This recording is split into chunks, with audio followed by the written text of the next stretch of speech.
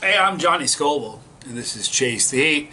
Uh, you know what? I got sick of playing around with that GoPro. Such a problem. Uh, eight hours to upload three videos. Just don't have that kind of time. So I'm investigating uh, some options, maybe changing the settings on the GoPro, but until I get that ironed out, and I'm sorry that the shadows are wreaking havoc, but here we are. Now, I'm eating a really hot pepper today. Look at this. This is the Fatalii Jigsaw. Alright, beautiful pepper. Now this is grown by Randy Keaton. Let me give you a little bit of information about the Jigsaw. I hate that this table does that. It drives me crazy. Gotta fix it. One of the legs is off. Sorry. Alright, so listen. This beast has grown as large as four ounces. So that's a huge pod. Makes it the largest and the heftiest, heftiest of all the super hots. It has been described by hot pepper YouTube reviewers as the gourmet super hot with a unique flavor. I wonder if I qualify for that. I guess I do. I'm a YouTube reviewer. I'm more of an entertainer. Just use peppers. I'm an entertainer, you know what I mean? But anyway, it has a gradual. The heat has a gradual and consistent build to it. The jigsaw has been rumored to be the hottest pepper in the world. So, um, and you know how it works, you guys. The the the uh, Carolina Reaper is just the hottest one recognized now. I've eaten hotter peppers this week. And it's Monday. Kind of how it works. So this right here um, the heat units on this are somewhere between 1,500,000 Scoville heat units to 2.2 million. So this is as hot, um, and this is no joke. It is this this pepper is as hot as any pepper you're going to get your hands on. Just shooting you straight. Sorry about the, the you know it's really funny now that I'm looking. See when I do the uh, GoPro, I, I can't see myself. With this camera, it's got a little camera thing that I can see myself, so I can see that the shadows suck right now. So I'm sorry about that. Um, all right, so let's try. Uh, here we go. This pod weighs 12 grams. So this is a. Let me pull the pin off of this grenade.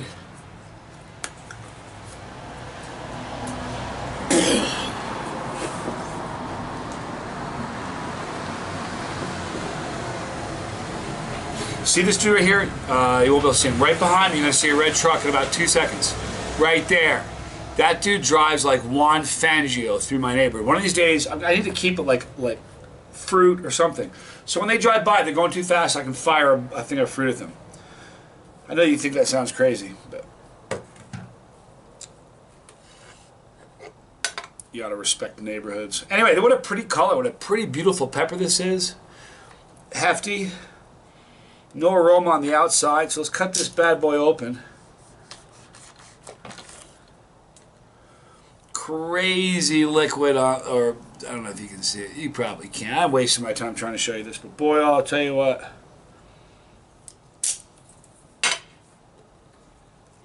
Now, I see one funky black seed right there at the tip, right here. I'm going to remove that.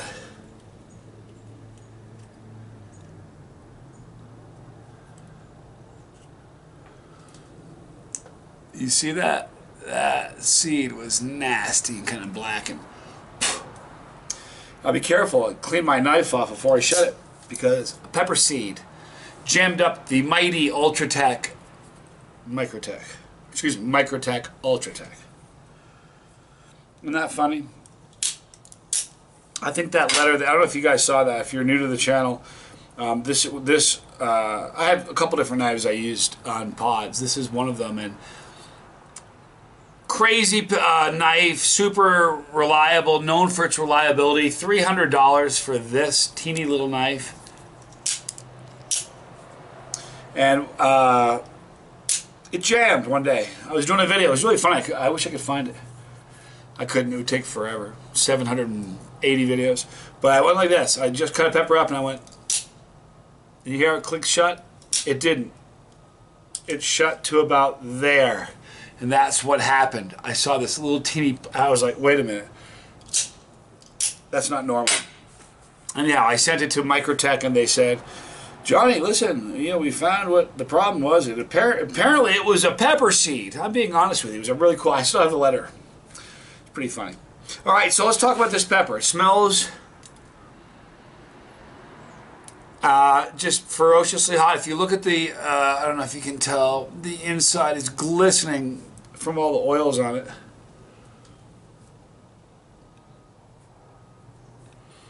All right, now last year, season two, we are in currently in, in Chase Heat season three. Last year, season two, excuse me, um, of all the peppers I ate all last year, one of the hottest, and I kid you not, was this pepper. It is just like twisted kind of heat. Not making that up either. So hopefully this will be just. In fact, if I remember correctly, I got an endorphin rush from one pepper. Now we're towards the end of the pod season right now in season three, wrapping up season two, but really we're in season three. And a lot of the peppers that I eat are stressed out because it's towards the end of the season. And it's a funny thing that some people say that stressing peppers out doesn't make them hotter. Eat the uh, eat peppers like I do, and you'll say, yeah, you know, the, the peppers at the end of the season are hotter. It's just the way it is. So I don't care what anyone says, it is. So these are this should be a really hot pepper. I'm gonna munch it down right now. I'm Johnny Scoville, you people, my family my friends. Guess what? This is Chase the Heat, and this is the Fatality Jigsaw.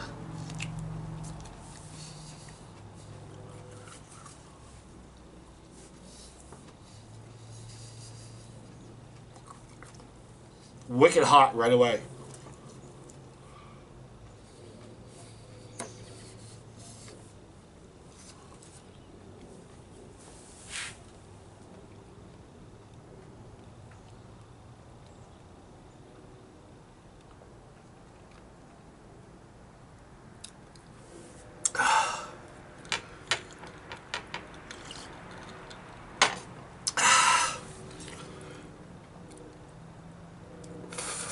Sorry.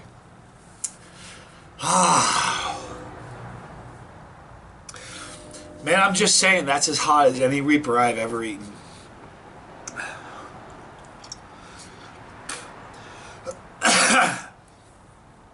Not much floral in that. Slightly floral. But there's a good bit of bitterness. Which I'm okay with. The, the flame, uh, here's the thing: is some pods you eat, uh, some pods, some pods you, you will chew up, and uh, the build is really slow and ramps up, kind of like ghost peppers like that. They start slow, and and this says in the video in the uh, information about this that it ramps up slowly and steadily. Uh, I'm telling you, this is as hot as any Reaper. It has a violent burn. Here's the thing, it's a steady burn like this, but it's a violent burn. It's hotter than most peppers I eat. I mean, really is. It's good pepper. Um, the heat, and, and you know, the bitterness and the, the bitterness and the negative kind of floral notes, subtle as they were, disappeared the quickest. Uh, so right now, heat my scale is like a three. Solid three, easy. Three. That's not going to go to a four. But it's attacking my tongue. Not my throat so much. Not so much here or here, but right in here. Is my tongue.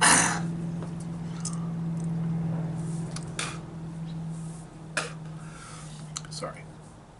Uh,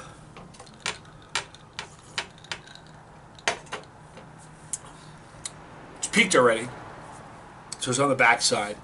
But it definitely got to a solid three for me. And you guys, if you're new to this, you're like, well, three is not very hot. Um, I have just an unusual. I don't know if it's an unusual tolerance to capsaicin. I guess in a better uh, way to look at it is I have a unique tolerance for pain.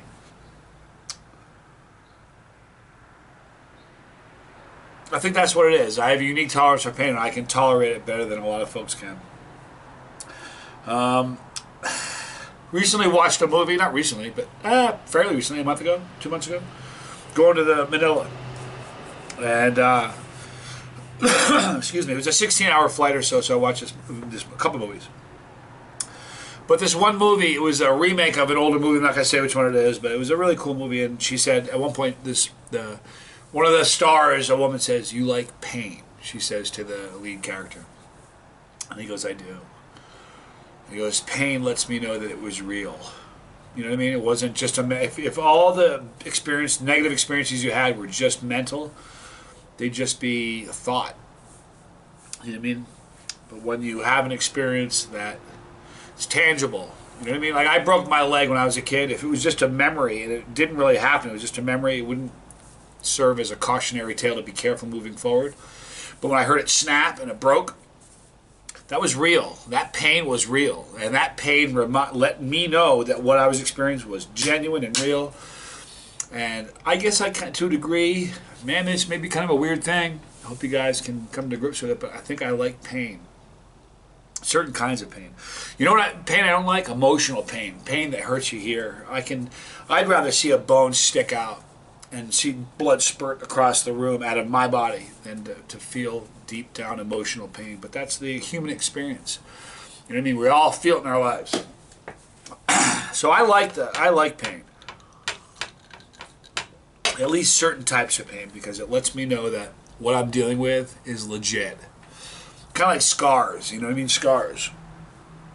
I got a, oh, I got a great scar right there. I don't know if you can't see it right now, but that scar exists for a reason.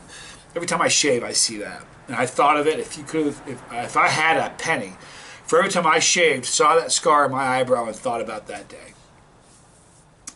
But that scar let me know that it was real. Do you know what I mean? Scar. That's what scars and pain does to you. So I think that I think there's some there's a common thread for a lot of us that that eat hot foods and like we welcome that pain. It's kind of a weird thing. It's weird. strange.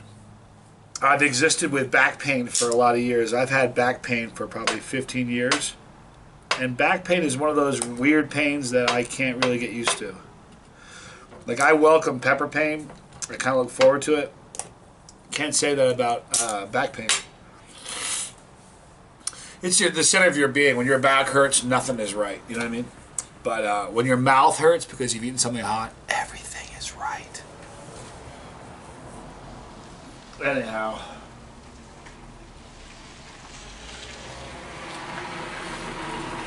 Appreciate you guys hanging out with me today. It's a beautiful day here. You know it's going to be in the 70s all day, so I'm going to shoot a lot of videos this week. And I'm going to go back to my old camera. This is my Sony I'm using. I'm sorry.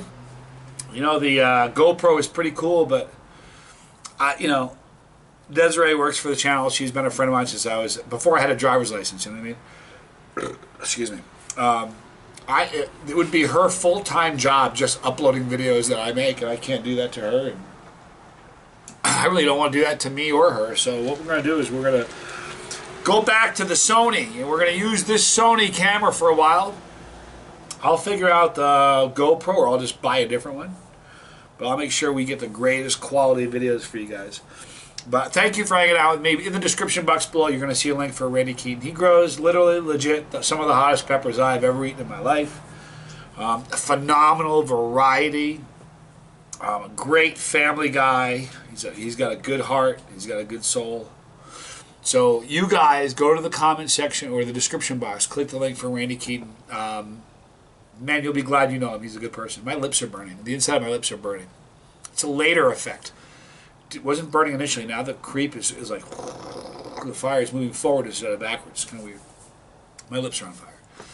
Um, so thank you, Randy. Click the link for Randy below. Um, right here, you'll see the pepper. That is the Chase the Heat floating pepper. Click it. When you do that, you're part of my family, and I am a part of yours. That's how it works. It's kind of a cool thing. And then I'm not doing this alone. I'm doing it with you. Be a part of this channel. There are a lot of channels on YouTube, millions of them, millions and millions and millions. This is more interactive because this this is one of those cool channels that the dude that has the channel knows that the only reason he has the channel is because of you. I don't exist, and this channel is academic. It's without you guys. So thank you.